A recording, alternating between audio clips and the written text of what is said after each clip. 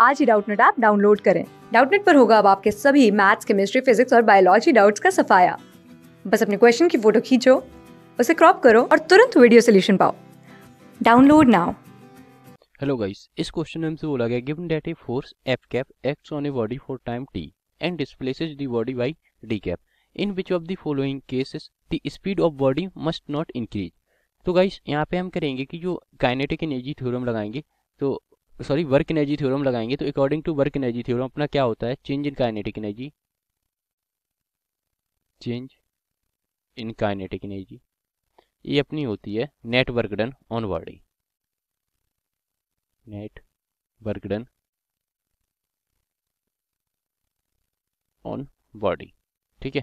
तो अपनी जो चेंज इन काइनेटिक एनर्जी है मीन्स स्पीड अपनी क्या नहीं कर रही है? इंक्रीज नहीं कर रही. मीन्स स्पीड इंक्रीज नहीं कर रही है तो चेंज इन काइनेटिक एनर्जी क्या अपनी? ज़ीरो है. ठीक है?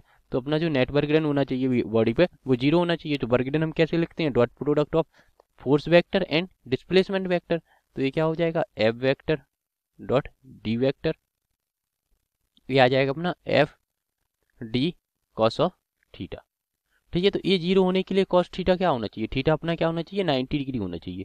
Theta is equal to 90 degree means जो अपना एफ़ कैप होना चाहिए फोर्स वेक्टर होना चाहिए, वो क्या होना चाहिए? अपना परपेंडिकुलर टू डिस्प्लेसमेंट वेक्टर होना चाहिए। तो यहाँ से कौन सा करेक्ट ऑप्शन हो जाएगा अपना? लास्ट ऑप्शन अपना करेक्ट है कि अगर एफ़ वेक्टर अपना परपेंडिकुलर रहेगा डिस्प्लेसमेंट के तो जो पार्टिकल होगा उसकी अपनी स्पीड इंक्रीज नहीं होगी। तो ये अपना आंसर हो जाता है। थैंक यू क्लास सिक्स से ट्वेल्थ से लेके NEET I I T JEE mains और एडवांस के लेवल तक, दस मिलियन से ज़्यादा स्टूडेंट्स का भरोसा। आज ही डाउनलोड करें डाउट नेट ऐप या व्हाट्सअप कीजिए अपने डाउट्स आठ चार सौ चार सौ चार सौ पर।